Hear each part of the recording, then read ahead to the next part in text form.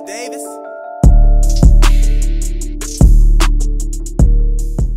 Um, well, the pitching, obviously. I mean, that's you know, first with Fuson, that's as good a game as as as he's thrown. But honestly, you know, I think that's kind of what he's gotten our expectations to that point where we kind of expect that type of a performance.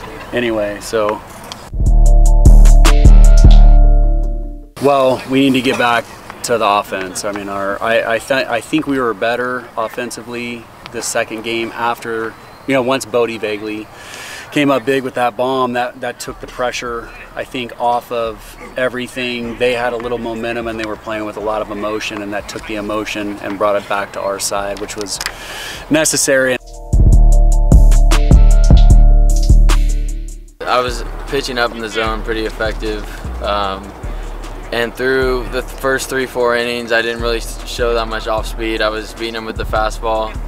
And then some great plays behind me. Jack had one of the best plays this year. Um, and just a lot of really good plays. And I saved the off speed till the last couple innings to get by. I always have faith and I know I just keep doing my thing and the runs will come. I never have to worry about that just because the guys are so, they stick to it. They figure out every pitcher we face. So it's a really good feeling getting up there and knowing that uh, my team has my back.